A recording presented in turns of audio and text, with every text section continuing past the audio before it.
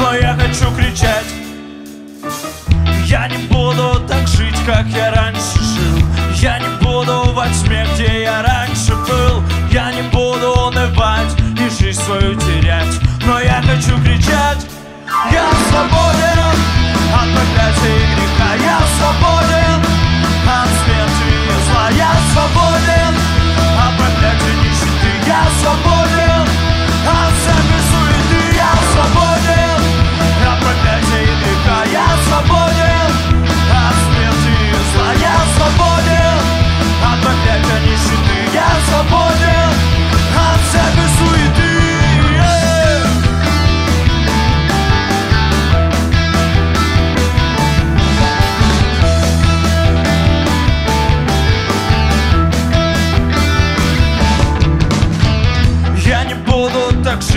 я раньше жил. Я не буду во тьме, где я раньше был. Я не буду унывать и жизнь свою терять Но я хочу кричать.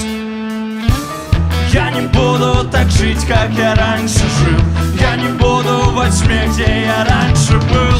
Я не буду унывать и жизнь свою терять. Но я хочу кричать. Я свободен от проклятия и греха Я свободен.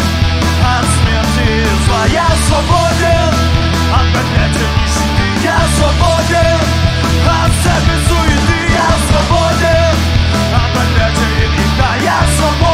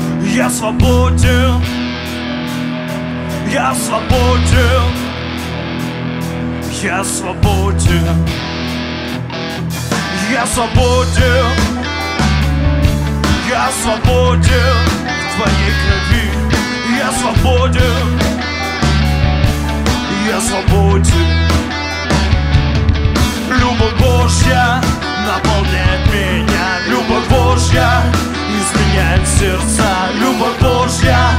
Прекрасная судьба Любовь Божья. В Иисусе навсегда Любовь Божья. Наполняет меня Любовь Божья. Изменяет сердца Любовь Божья. Прекрасная судьба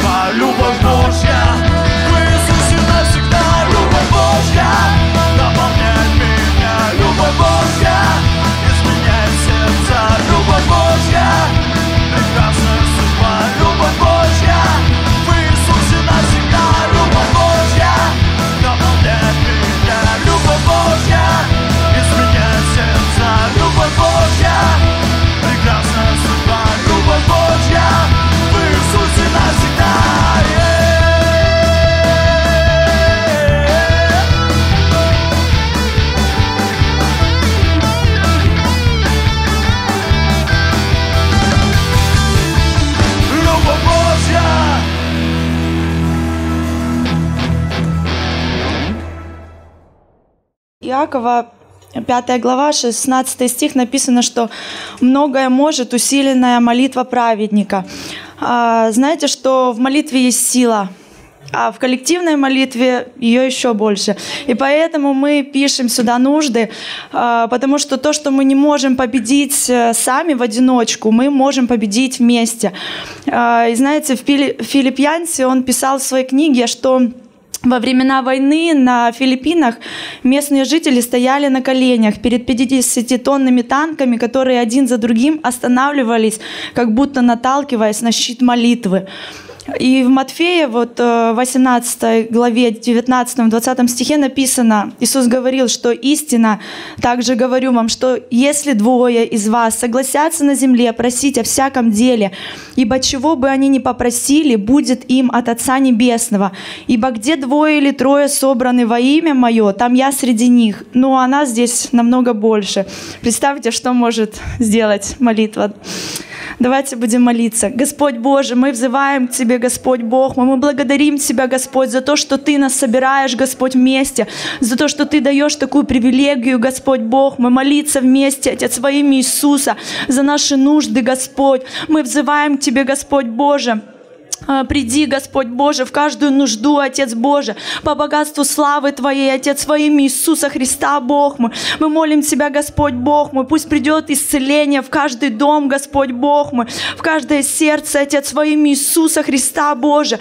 Мы взываем к Тебе, Господь Боже, за наших родных, за наших близких, Отец. Мы молим Тебя, Господь Боже, приведи к покаянию, Отец, во имя Иисуса. Просвети очи сердца, Отец, во имя Иисуса Христа, Боже, чтобы они знали Тебя, творящим, Отец, во имя Иисуса, чтобы они познали Тебя, Господь, во имя Иисуса. Боже, пусть придет Дух Богоискания, Отец, во имя Иисуса, в каждый дом, Господь, в каждое сердце, Отец, во имя Иисуса Христа. Боже, мы благословляем Тебя, Господь, мы славим Тебя. Аминь.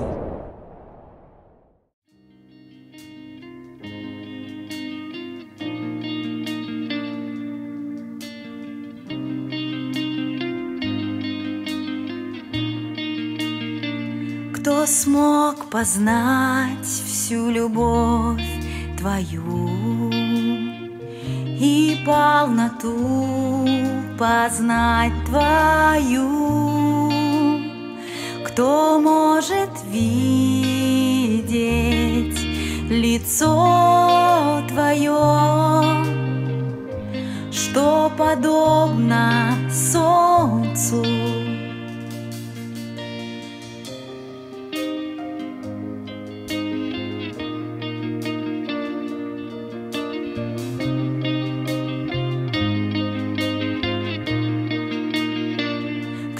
Смог познать всю любовь Твою и полноту познать Твою?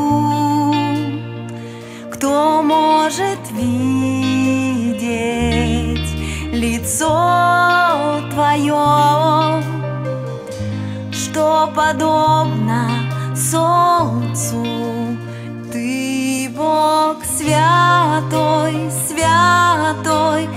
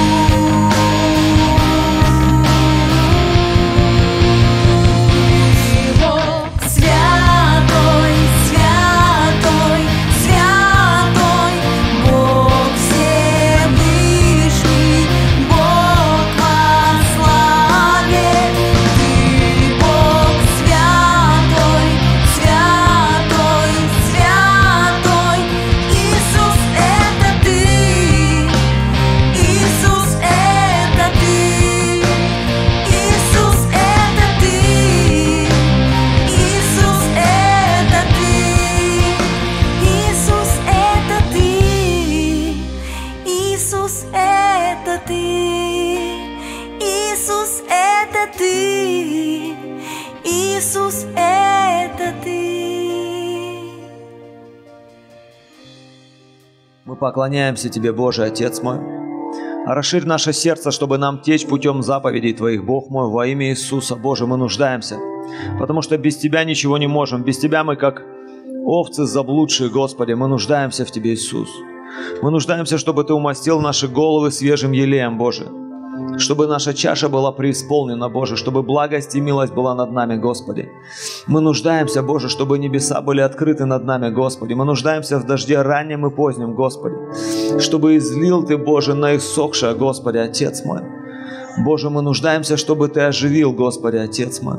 Мы нуждаемся в Тебе, Иисус. Для Тебя нет ничего невозможного, Боже, Отец мой. Благодарим Тебя, Отец мой. что Ты держишь все в руках своих, Бог мой. Боже, благодарим Тебя, дай нам ухватиться за Тебя, Господи, Отец мой, потому что от Тебя исходила сила. Мы нуждаемся в Тебе, Иисус. У Тебя сила, Господь, Отец мой. Ты Бог, который из брения возвышаешь нищего и поставляешь царями, Господи. Мы превозносим Тебя. Слава Тебе, Отец, Сын и Дух Святой. Аминь. Сегодня у нас очень хорошая тема, о которой может не всегда нам хочется слышать, и, и, и еще больше нам не хочется применять. Знаете, Иисус своим ученикам сказал, ну, кто хочет, кто хочет. Он к ученикам говорил, то есть он даже не всем это говорил, говорит, кто хочет. Сегодня буду говорить о твоем, моем кресте, твой крест, твой крест.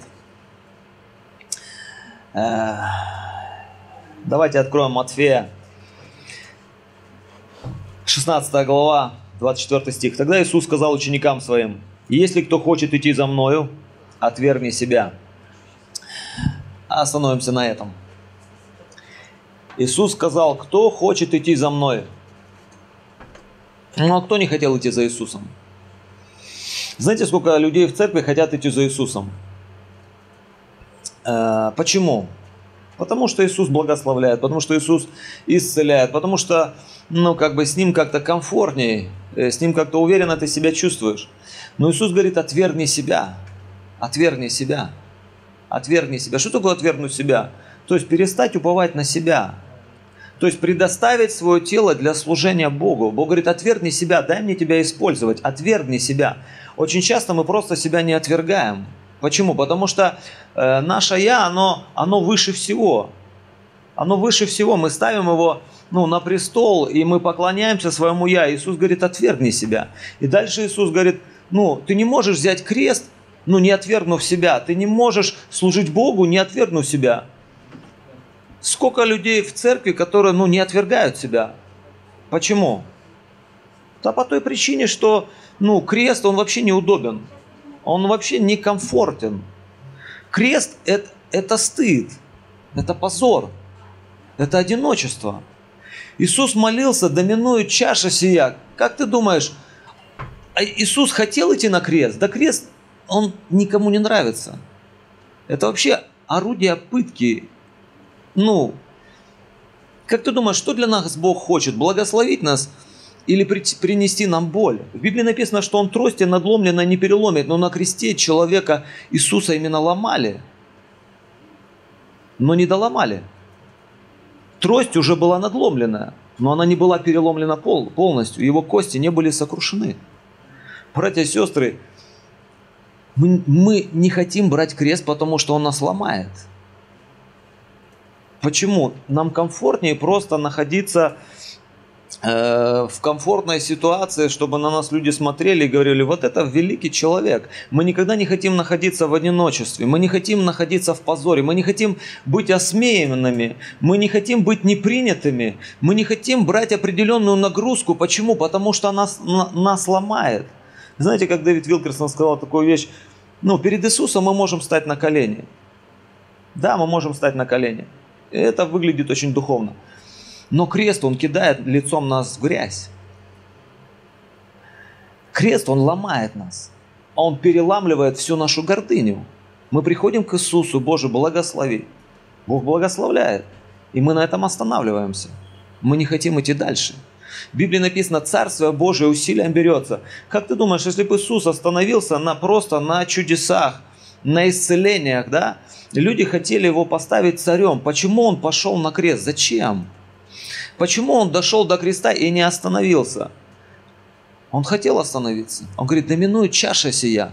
Почему Бог не сделал крест легким? Почему он просто... Почему Иисусу было тяжело нести этот крест? А почему, почему я знаю, что его тяжело было нести? Потому что Иисус упал. Он не донес свой крест. Он упал под тяжестью креста. Крест весил, он был поперечина, перекладина, и там ученые говорят, что в районе 50 килограмм. Ну, приличный вес, но не такой прям сильно большой для мужчины, да? Но Иисус был изранен. Тебе дать 20 килограмм и просто э, избить тебя черенками, как бы, навряд ли ты вообще там пройдешь что-то, да? Но Иисус нес свой крест. Это благословение было или проклятие? Бог планировал это, чтобы его сын мучился. Он планировал, чтобы его церковь видела его в таком состоянии. Я спрашиваю, он планировал. Он планировал. И он это видел. Как ты думаешь, Иисус понимал, куда он идет и на что он соглашается, на что он подписывается? Не будет сидеть тол- толпа людей и кричать «Аминь, Аллилуйя». Не будут приносить пожертвования. Не будет овации, не будут хлопать. По улице Долороса ему не стелили просто розы. Ему не дарили дорогие подарки. Его избивали. Его мучили, его унижали. Вы же смотрели этот крест- кре- э, фильм «Страсти Христовы»? Он обнял свой крест. А что мы со своим крестом? Иисус говорит, возьми свой крест. Как ты думаешь, когда Иисус говорил своим ученикам о кресте, что он не понимал, что он свой крест не донесет сам? Он не смог его донести сам, он упал. Сколько он там прошел? Ну, непонятно. Может, полпути. Может, чуть больше. Но он упал под тяжестью креста. Как ты думаешь, что крест с тобой будет делать? Для чего крест вообще в нашей жизни? Зачем он нужен? Это мучение, это пытка. Это издевательство, это одиночество, это отверженность. Это позор перед всеми. Это просто быть полностью обнаженным и висеть, и чтобы на тебя все смотрели и плевали. Просто переживать. Знаете, братья, толпа это серьезная штука. Она нас может поломать полностью. Она настолько влияет. Знаете, мы очень часто останавливаемся по той причине, что кричит толпа. Почему? Она влияет на нас. Скорее всего, я не то что-то делаю. Да, скорее всего, ты именно то, то, что нужно делаешь. Если ты ухватился за Иисуса, если ты его ученик, ученик, как ты думаешь, чему учитель тебя научит? Он научит тебя брать крест, потому что он это умеет. Он, он знает, как это. Он знает, как это падать. Он знает, как это, когда у тебя нету больше сил. Он знает, что ну, он не может больше подняться. Он физически не мог с крестом больше подняться. Может, он пытался. Но он этого не мог сделать. Как ты думаешь, Бог знал это, что так будет? Что его сын не донесет крест. Он знал. Он знал, что этот вот с поля будет идти товарищ. Его просто заставят нести крест. И он помог донести крест. Кто-то говорит, что просто одну перекладину он взял, как бы часть креста. Что оно соединялось потом, собирали этот крест уже там по ходу. Может быть. Может часть креста. Может. Может полностью. Но Иисусу кто-то помог. Ты не можешь нести свой крест в одиночку. Рано или поздно он тебя сломает. Рано или поздно ты упадешь лицом в грязь. Сто процентов. Если ты только думаешь, что ты не, не упадешь, ты упадешь. Писание говорит, если ты думаешь, что ты стоишь, если ты думаешь, что тебя ничто не разочарует, ни один пастор, никто тебя вообще никогда не обидит, ты сто процентов будешь оби- обижен. Как ты думаешь, Иисуса обижали? Ему отвечали за его добро злом. Что плохого он сделал? Да ничего плохого не сделал. Почему фарисеи предали его на эту смерть? Это даже было не в их культуре. Они могли его просто побить камнями. Ну, как обычно они это делают с верующими. В принципе, ничего, ничего не поменялось. Они могли просто забить его камнями, но они не хотели, не хотели пачкать руки. Они использовали крест, просто римскую казнь. Даже не своими руками. Что они делали? Контролировали, манипулировали. Мало что поменялось сейчас. Религия, она манипулирует и контролирует властью. Они настолько запугали этого Понтия Пилата. Они ему угрожали. Они манипулировали, что они там расскажут кесарю, какой он негодяй, что он не друг ему. Манипулировали. Человек, который к Богу не имел никакого отношения, он не хотел распинать Иисуса. Не хотел. Кто его хотел распинать? Эти глубоко верующие, благоговеющие перед Богом люди, которые считали, что их не отец Авраам. Они настолько были слепы. Братья, без креста мы слепые. Мы ничего не видим. И если слепой слепого ведет, они оба упадут. Они настолько были озлоблены, они настолько были одержимы бесами. Они пытались рвать Иисуса на части. Также были эти люди, которые били Иисуса. Они не просто, они не просто били его, они рвали его. И они получали наслаждение. Они как маньяки рвали его на части. Как ты думаешь, Иисус ну, не знал, на, ну, на что он подписывается, или ну, что с ним будет. Разве отец не знал, что с его сыном будут делать? Как отцу было смотреть на это? Иисус говорит, я ничего не творю, пока не увижу Отца Творящего. Он говорит, я ничего не творю, он всегда имел связь с Отцом, но на кресте что-то произошло, он перестал чувствовать Отца.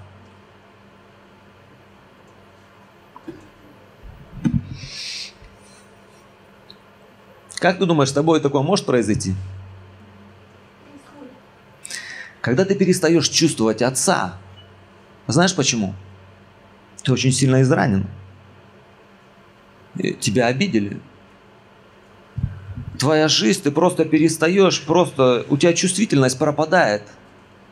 Тебе говорят о отцовской любви, ты ее просто не чувствуешь, ты ее не видишь, ты ее не ощущаешь. Ты не чувствуешь Бога. Иисус всегда был на связи с Отцом, но на кресте Он говорит, зачем ты меня оставил?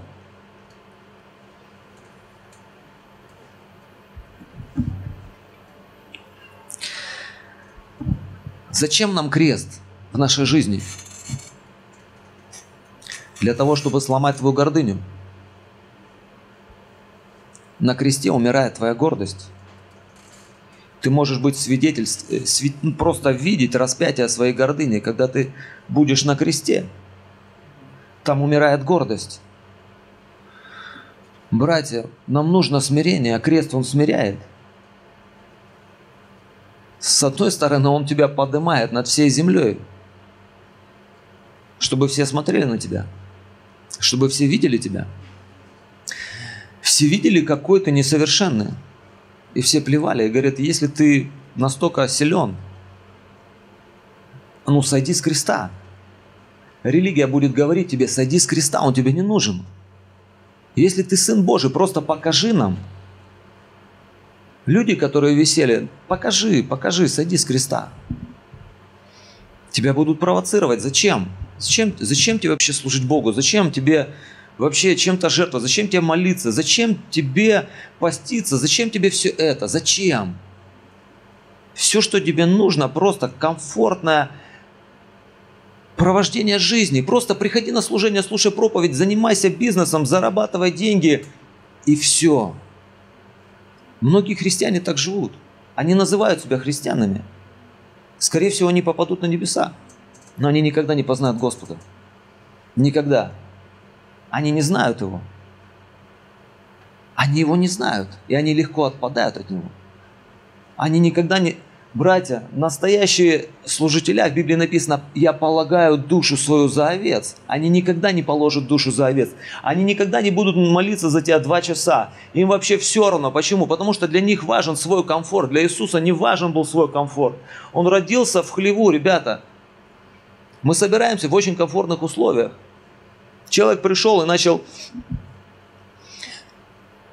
оскорблять нашу кафедру, наше помещение. Почему? Потому что он был более в лучшем помещении. Братья, Иисус родился в хлеву. У него не было здания, просто, у него не было красивого здания, кафедры не было красивой. У него такой кафедры не было. Ты слышишь меня? У него не было ничего. Он проповедовал с креста, Боже, прости им. Вот его проповедь, вот его проповедь была, вот, вот его проповедь была. Он собирался с людьми где-то там вот, ну, на поляне. Братья, если мы не будем умирать для себя, если не будем брать крест каждый день, в восточном переводе там написано, что человек, который хочет идти за Иисусом, пусть уподобится человеку, который несет крест на место своего распятия. У тебя есть это место. У каждого свое. Ну, кто-то считает брак, это его крест, да? Кто-то считает там, э, я не знаю, там работа его крест, да? Кто-то считает там, э, мне нравится Дэвид Вилкерсон, говорит, мой крест, я всегда не удовлетворен, мне кажется, что я очень мало служу Богу. Вот мой крест. Говорит, я всегда не удовлетворен, я всегда падаю в депрессию после написания книги или после очеред... очередной евангелизации, что там ну, много-много людей покаялось. Я каждый раз впадаю в депрессию. У меня неудовлетворенность. А у нас как? Знаете, что нас удовлетворяет? Нас удовлетворяют материальные вещи, наш заработок, да, э, принятие, там еще вот, э, машина, там, ну, какой-то материальный успех. У Иисуса вообще этого ничего не было. Просто.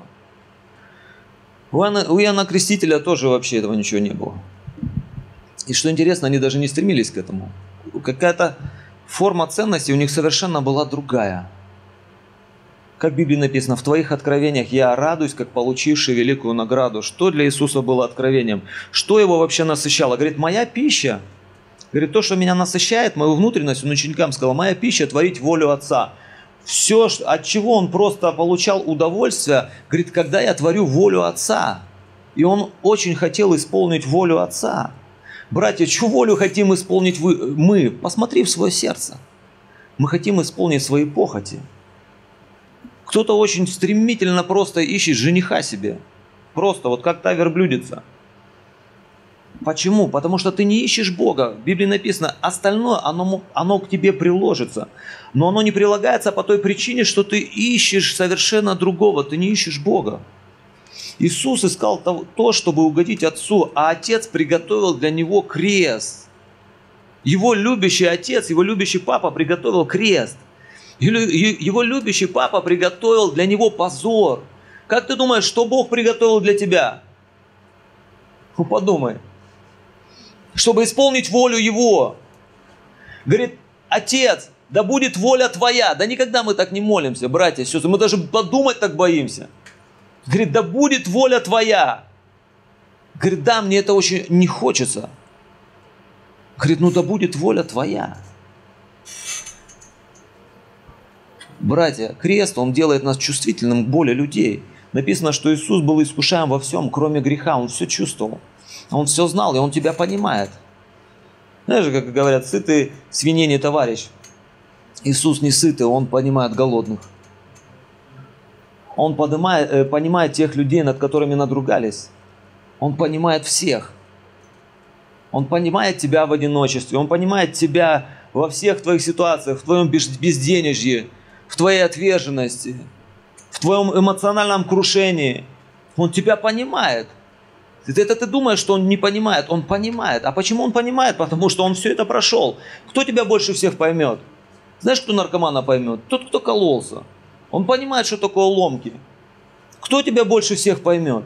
Тебя мама так не поймет. Тебя папа, жена так не поймет. Твое внутреннее терзание поймет только Иисус. Почему? Да потому что Он это все пережил. Братья сестры, знаете, почему люди соединяются вообще? Просто соединяются с друг другом. Что их соединяет? Дух к духу. Просто люди тянутся. Почему мы с Иисусом соединяемся? Да потому что влечет нас сердце к Нему. Почему? Почему? Потому что мы также можем чувствовать боль. И Он чувствует нашу боль. Он говорит, придите ко мне все нуждающиеся. Почему? Да потому что я точно такой же. Я это прошел. И я могу вам помочь. У меня есть выход просто. Говорит, просто тебе нужно ну, взять свой крест. Братья, мы хотим славы, но мы не хотим креста. Знаете, как Дарий сказал, там спросил у церкви, дорогая церковь, как вы думаете, вот если вот Сын Божий, ну, он пошел на небо через крест, как вы думаете, как мы туда попадем? Ну, я не знаю, что там люди ответили. А ты как думаешь? Как ты думаешь, как мы попадем на небо вообще? Если Иисус попал туда через мучение, через крест. Мы вообще не любим такие местописания. Многими скорбями надлежит войти вам в Царство Небесное. Мы хотим, чтобы просто нам лайки, лайки ставили. И просто вот, ну, как бы, чем больше лайк, тем, тем просто я счастливее и Господь со мною. Братья, мы фотографируемся, мы выставляем самые лучшие фотографии. Ты просто сфотографировался, и у тебя там чуть животик торчит. Ты, ну, эту фотку точно не выкинешь. Иисусу его все фотографировали.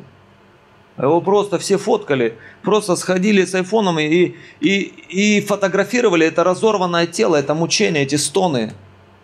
Оно все отобразилось в людях. Его церковь просто смотрела на него, как он мучается. Его ученики видели, хотели бы они вообще такой жизни. Как ты думаешь? Это надо, быть вообще ну, сумасшедшим. Так Иисус говорит, будьте безумны ради меня, будьте сумасшедшими. Знаете, как на украинском там, э, сбожев- сбожевилил, да, ну, братья, чтобы исполнить волю, ты должен сумасшедший быть в хорошем смысле. Братья, мы настолько правильные, настолько религиозные, настолько просто отточенные, настолько просто стерильные, ну, как коты кастрированные. Просто люди не служат Богу по той причине, они боятся боли. У них настолько слабый болевой порог, они всего боятся. А почему боятся? Страх перед людьми ставит сеть. И люди просто в сетях религиозных, в сетях интернета, они, они боятся. Все, что для них важно, просто как о них люди скажут, что о них подумают. Лишь бы никого не обидеть, просто быть настолько толерантным. Да Иисус не был толерантным. Он говорит, жизнь или смерть. Он не говорил, слушай, да все нормально. Он говорит, жизнь или смерть предлагаю тебе. Говорит, выбери жизнь. Братья сестры, я верю, что Иисус не камикадзе. Иисус не камикадзе. Камикадзе забирают жизни. Иисус отдает. Он говорит, я полагаю жизнь свою за овец. Камикадзе убивают людей. Иисус свою жизнь полагал для того, чтобы ты имел жизнь и жизнь с избытком, чтобы у тебя была сила. Павел говорит, мы в немощи, вы в славе. Если читать про Павла, так он, он полностью отображал то, что Иисус имел в виду. Он говорит, я когда немощный. Ты можешь к себе это отнести? Я когда немощный, говорит, тогда я силен, потому что его сила, она совершается в немощи. Как ты думаешь, Иисус сильный был на кресте? Он не выглядел сильным. Он вообще никак не выглядел. Потому что его лик был обезображен. Паче всякого человека. Он был страшнее всех. Он был уродливее всех. Он был обезображен. На него было ну, просто смотреть страшно. Как там в страсти Христова мама стояла там, плакала и говорит, когда ты бросишь эту ношу?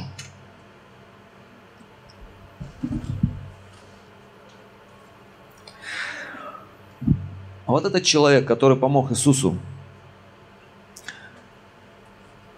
где он взялся вообще?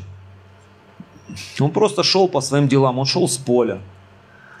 Симон, да? Шел просто с поля. Его просто пинками запинали, как бы, говорит, давай, неси. Он говорит, ну ладно, понесу. У него, он без вариантов, он просто, у него не было выбора. Братья, нам нужен такой человек. Нам нужен. А почему его запинали? Тоже через обстоятельства. Братья, иногда нас к Богу толкают какие вещи? Боль, отверженность, какие-то болезни, какое-то неустройство. Просто мы даже не хотели помогать Иисусу. Ну вот он, он не хотел, он хотел просто прийти домой, сесть со своей женой, попить чая, с детьми побыть.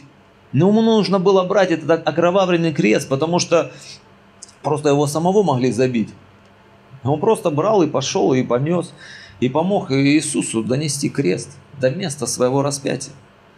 Я думаю, что он стал другим человеком в это время. Во время того, когда мы помогаем Иисусу, я думаю, что с нашим сердцем что-то становится. Почему? Потому что мы рядом с Ним. Мы переживаем ту же самую боль. Да? Его кровь капает на нас. Мы видим Его лицо. И скорее всего мы хотим защитить Его. И скорее всего мы не захотим, чтобы Его распинали. Что с нашей жизнью? Мы настолько стали холеные довольные, и, и удовлетворенными, и самоправедными. Но крест, он просто сбивает всю шелуху. Он такой неудобный, он просто сбивает всю религиозную шелуху. Просто вся твоя вера, она просто может посыпаться, просто вот. Если каждого из нас взять, просто на кресте все посыпется. Все, кто-то на кресте будет орать матом. Или нет? Иисус рождал церковь на кресте. Он мучился. Написано, когда женщина рождает, она терпит скорбь. Ее кости тазовые расходятся. Но когда родит, она забывает, потому что радуется. Знаешь почему? Потому что Иисус видел, что будет слава. И Он готов был претерпеть. Написано, претерпевающий до конца. Скажи, претерпевающий до конца. Увенчает венец славы. Часто у церкви нет славы, потому что она не собирается ничего претерпевать. Почему? Потому что мы хотим славы, но не хотим претерпевать. Мы не хотим брать крест. Братья, у Бога наши кресты, они просто лежат и пылятся. У каждого свой. Он говорит, кто хочет, возьми свой. У каждого из нас есть свой крест, мы просто его не находим или просто не берем. Или просто не хотим нести, или мы отказываемся. Почему? Потому что это тяжело, нам проще развестись, нам проще, нам проще развернуться и уйти. Нам проще спрятаться, нам проще закопаться. Нам проще, чтобы нас просто никто не видел, нам, нам проще вариться в своей депрессии, нам просто проще лазить в интернете, кого-то там лайкать, себя выставлять. Нам это проще. Знаете, мы хотим все быстро и легко. Мы не хотим платить цену. Иисус, Он царь и священник. Когда его распяли, у него табличка была «Царь иудейский». Эту табличку написал Понтий Пилат. Это не фарисеи написали. Он говорит, сними и скажи, что он называл себя царем иудейским. То есть он сектант. Он просто косил под верующего. Он обманщик. Он говорит, нет, что написал, то написал. Братья, у него больше понимания было, чем у этих людей в пиджаках. У него больше было понимания, чем этих у товарищей с кадилом. У него больше было понимания, у этого мирского человека. Он больше понимал, он говорит, что есть истина. Он не понимал, он просто хотел узнать. Им, фарисеям, вообще не интересно, что есть истина. Они просто, у них была зависть. И он говорит, я знаю. Он говорит, ну, он, он понимал, что его распяли из-за зависти, они хотят его распять из-за зависти. И он, он понимал это и всячески пытался его освободить. И он не мог противостоять толпе злой, религиозной, озлобленной. Иисус ему говорит, так больше вины даже не на тебе, на них. Говорит, кто предал тебя? Кто предал меня тебе? А он говорит, так у меня есть власть. Говорит, да нет у тебя никакой власти надо мной. И он еще больше хотел его освободить.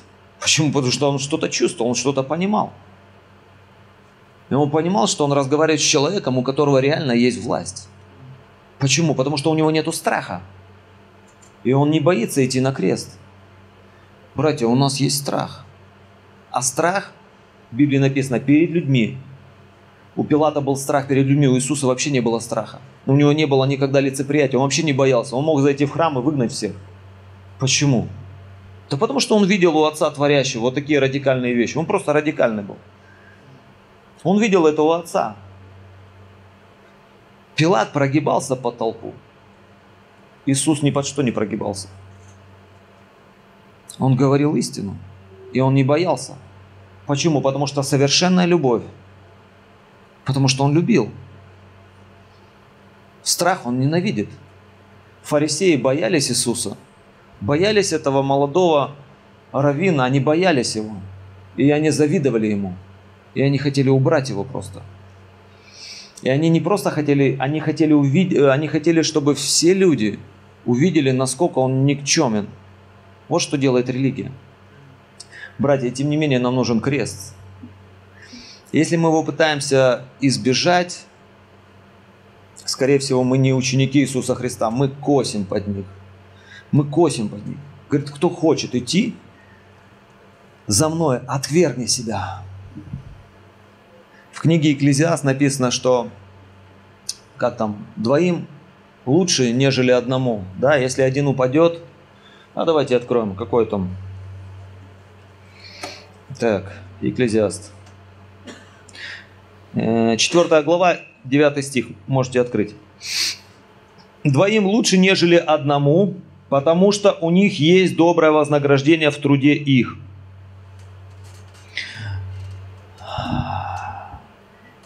Иисус нес крест не один.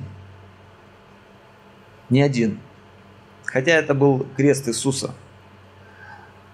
И написано, что двоим лучше. Иисус бы не закончил свое служение. Ну просто не, ну физически он не смог его сделать. Бог не облегчил крест, он не пронес его по воздуху, не поставил там сверхъестественно, все это сделал, так чтобы все просто, ну как бы увидели какое-то чудо. Ничего этого не произошло. Все физические моменты также происходили. Он ощущал тяжесть креста. У Иисуса не было сил сверхъестественных, как у суперчеловека, да? хотя это могло быть, но этого не было. Просто он был обессилен, просто полностью обесточен. И Симон помогал ему нести крест. И он вместе донес его. Братья, нам нужен человек, который поможет донести нас, нам, нам этот крест. А рано или поздно мы упадем. В каком смысле? Рано или поздно ты поймаешь разочарование и упадешь лицом в грязь. Бог ждет, когда ты упадешь, чтобы подойти к тебе. И когда ты будешь лежать в грязи, Он будет шептать тебе на ухо. Знаешь что? Что я избрал немощное и не мудрое, чтобы посрамить мудрое. Говорит, а сейчас мы вместе. Он подойдет именно тогда. Я, говорит, близок к сокрушенным и смиренным. Я к тебе сейчас буду еще ближе. Братья, нам нужен человек, который поможет. Для, тебе, для этого тебе нужно смирение, чтобы принять чью-то помощь. Тебе нужен человек, который поможет тебе. Но гордость, она, она всех отпугивает, она всех отгоняет. Я сам смогу, мне никто не нужен, мне никто не нужен. Гордым Бог противится, но смиренным дает благодать. Братья, мы нужны друг другу. Я нуждаюсь в молитве, потому я прошу, чтобы молили за меня.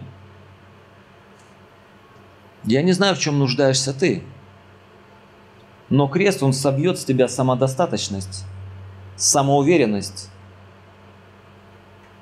Он собьет тебя всю просто мишуру религиозную и покажет, кто ты на самом деле. А на самом деле ты просто горделивый, похотливый, сребролюбивый, неуверенный в себе человек. Бог говорит, без меня не можешь делать ничего. Просто. И Бог хочет увидеть, что, чтобы ты понял, что без Него ты не можешь ничего. Ты не можешь без Него служить. Без Него ты можешь блудить. Но без Него служить ты не можешь. Мы всегда выбираем. Но есть выбор твой. Не бойся войны, мы выиграем бой. Да? Кто помнит эту песню? Если ты выбрал там пыль в старом шкафу, ты это выбрал. Что ты выбираешь? Иисус намеренно выбрал крест, и Он ученикам говорит, ну, моя кровь, она проливается за вас. Это чаша Нового Завета. На кресте лилась, ну, вино, но Новый Завет, новое вино на кресте лилось. Она лилось из Иисуса по кресту, чтобы все пили. Братья, сестры, что такое крест? Он делает тебя чувствительным к боли людей. Я думаю, что не каждый президент поймет твою боль. Ну, хоть и говорит. Не каждый пастор поймет твою боль. Ну, хоть и говорит. Но он понимает. Почему? Потому что он это прошел. Тянись к нему, у него есть помощь. У него есть сила. У него есть все. На кресте твои глаза открываются совершенно по-другому. Они просто открываются. Почему? Потому что ты выше всех. Ты над землей, ты над земными всеми этими обстоятельствами. Но при этом ты, тебе нечем гордиться, гордиться. Ты на кресте не можешь гордиться. Люди устраивают себе высоты и поднимаются на них, да? И как там написано, ты пытаешься себе устроить гнездо на скале, говорит, я оттуда тебя скину. Что люди делают? Они делают свои высоты. Но Иисус на кресте висел за нас, за каждого. Для чего? Для, для, для чего? Для того, чтобы мы брали свой крест. И мы делали то же самое. Если мы его ученики, мы должны делать то же самое. Для чего? Для того, чтобы смиряться, чтобы служить. Как ты можешь? Ты не можешь расширить свое сердце просто так. Бог говорит, ну, как там молитва, расширь мое сердце, чтобы я тек путем заповедей твоих. Как ты можешь это сделать? Только на кресте. Твое сердце расширяется на кресте просто сверхъестественно. Почему? Потому что ты не можешь уповать на себя. У тебя отношения с Богом становятся еще лучше. Это знаешь, как вот ты понимаешь какие-то вопросы, ну, э, если ты даже не получаешь на какие-то вопросы ответы, у тебя не становится из-за этого горечь или какой-то там, ну, ну какая-то отверженность, да? Знаете, вот как э, эти антенны раньше ставили на крышах, ну, для того, чтобы прием был лучше, как бы, и чем антенна круче, тем она, тем изображение лучше. Ну так вот, чем твой крест больше, тем ты лучше видишь, чем ты больше понимаешь. У тебя какие-то откровения получаются. Ты что-то начинаешь чувствовать. Ты в молитве, ты начинаешь видеть Отца Творящего.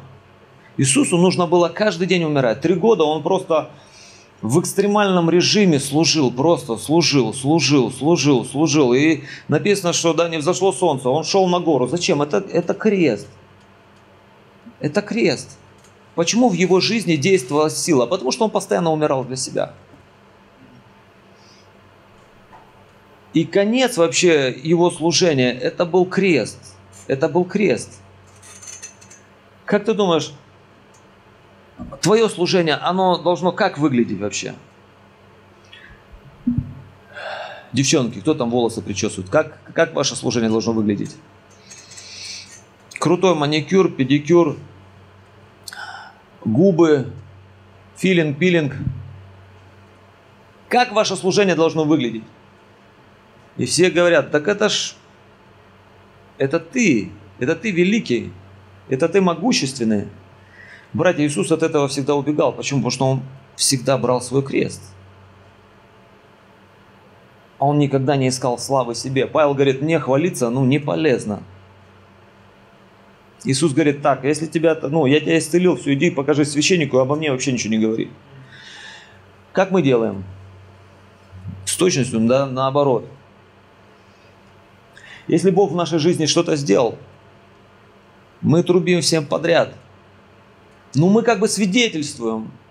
Но это как бы свидетельство. Ну, а даже не осознаем, то, то там где-то гордость рядом просто. Она просто пришла и уселась. Гордость. Павел говорит, чтобы я не гордился.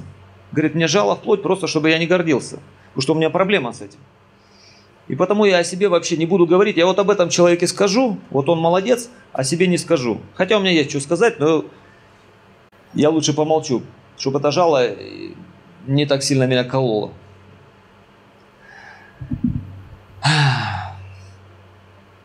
Братья, нам нужен крест просто необходим. Он, он просто очищает нас. Он нас освещает. Написано, праведник освещается еще. Когда мы на кресте, наша плоть умирает, наши похоти умирают. Братья, когда ты на кресте, ты не думаешь, э, ну, что у тебя джинсы как бы, ну, не левайсы, правильно? Или что у тебя ускочи, или широкие там, или, или ты как бы не в левисе, или в чем ты там, ну, как бы. Ты же не думаешь, в чем ты одет вообще. Ну, на кресте ты вообще не одет. Ты не думаешь, что у тебя, ну, есть жилье, там, нету жилья, как бы. Ну, когда ты на кресте.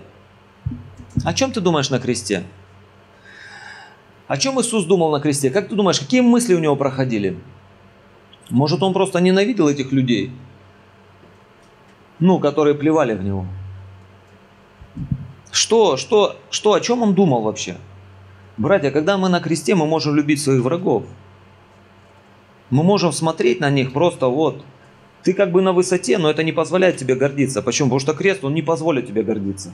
Ну почему? Потому что ты обнажен. Гордиться-то нечем. На кресте ты можешь снисходить. На кресте ты полагаешь душу за овец. Написано, наемник, он, он не полагает душу за овец. Он никогда не пойдет на крест. Он за овец не будет умирать. Почему? Он убегает. Кого? От овец убегает. Ему все равно, что волк будет растаскивать овец. Почему? Ему лишь бы спасти свою шкуру. Ему важно спасти себя, ему важно свой личный комфорт. Просто вот свой комфорт, чтобы ему тепло и хорошо было. Но пастор, он полагает душу за овец. Иисус настоящий пастор. Он показал пример. Мы просто должны идти по его следам. Просто идти по его следам. Принять крест как благословение. Почему? Ты же когда идешь в зал, да, берешь там, тебе тренер говорит, ну, ты сможешь, как бы, да, пожать там что-то. А он тебе еще больше. Сможешь. И что он? Он еще и страхует, как бы, да. И когда тебе уже просто штанга грудь придавила, потому что ты реально понимаешь, что ты, ну, 120, ну, никогда не жал вообще. И, и не подумал, что такой вес ты можешь вообще пожать. Братья, да мы никогда не, не можем подумать, э, что мы можем вообще понести крест. Тем более сами. Ну, тренер просто вот легонечко раз, подстраховал, и на самом деле раз ты и смог. Знаете, я верю, что Бог позволяет этому быть в нашей жизни. Я верю, что Бог планирует для нас даже страдания. Ну, хотя ты можешь не верить в это. Но Писание говорит, многими скорбями надлежит найти, войти вам в Царство Небесное. Не хочется войти в Царство Небесное. Но на пути лежат скорби, на пути лежит крест. Мы можем войти в небо только через крест. Ну, можешь войти через веру. Но, скорее всего, ты не приблизишься к самому Богу. Ты не узнаешь Его сердце и Его воли. Потому что Его воля, чтобы ты был на кресте. Ты можешь сказать на это аминь? Его воля, чтобы твоя плоть, она умерла на кресте. Потому что плоть, она немощна. А Бог хочет, чтобы твой дух был бодр. Плоть немощна. Если ты будешь идти за плотью, скорее всего, твой дух будет угашен. Крест, он держит нас в хорошей духовной форме, да, как ты себя э, тренируешь, да, и стараешься держать себя в форме. Крест, он это нагрузка. Люди, которые несут крест, они, они сильные, они могут молиться часами, они могут преодолевать какие-то трудности, они могут бежать и не утомляться. В Библии написано, утомляются юноши и молодые падают, но уповающие на меня, они обновятся в силе. Братья, когда ты на кресте, ты становишься сильнее, ты исполняешь волю Божью, ты видишь намного дальше. Твое сердце, оно растягивается, расширяется, но твоя плоть при этом умирает. Понимаешь? В Библии написано, страдающий плотью. Иисус очень страдал плотью. Когда ты начнешь страдать плотью, ты просто перестанешь грешить. Просто когда ты за Иисуса будешь страдать плотью, ты перестанешь грешить. Если ты будешь часами молиться, скорее всего, о блуде ты даже думать не будешь. Ты веришь в это? Почему? Твои мысли, у тебя сон будет другой, у тебя видения будут другие, тебе не будет сниться порнография. Почему? Потому что ты наполнен им. Давид говорит, я даже ночью учит меня внутренность моя. Да почему? Да потому что он заряжен был на Боге. Давайте будем ну, искать прежде всего горнего. Ну, помышлять о горнем. В Библии написано, помышляйте о горнем, ну, а не о земном. Хорошо. Хорошо. Ты что-то принял для себя? Аминь. Давайте встанем, помолимся. Аллилуйя, Отец, мы превозносим Твое святое имя, Господи. Я молю Тебя, Боже, Отец мой, чтобы, Боже, дай нам стать сильнее, Господь, Отец мой.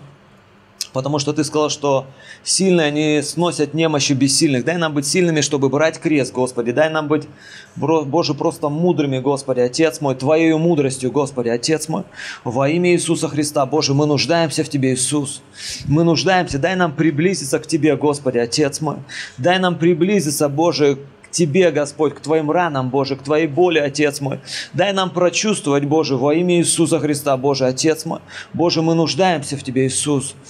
Мы нуждаемся в Тебе, Иисус. Боже, мы нуждаемся в Тебе, Иисус. Боже, Отец мой.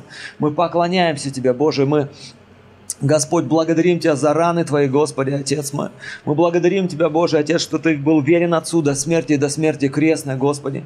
Мы благодарим Тебя, Боже, что Ты перенес все ради, ради нас, Боже, Отец. Благодарим Тебя, Боже, тогда, когда мы не были достойны этого, Боже, Отец мой. Благодарим Тебя, Боже, Отец мой. Дай нам претерпевать до конца, Боже. Дай нам преодолеть все, Господь. И все преодолев устоять, Господи. Дай нам, Боже, облечься в Твою праведность, Боже, облечься во все оружия Божье, Отец мой. Я молю Тебя, Боже, мы нуждаемся в Тебе, Иисус. Мы нуждаемся в Тебе, Иисус. Слава Тебе. Аминь.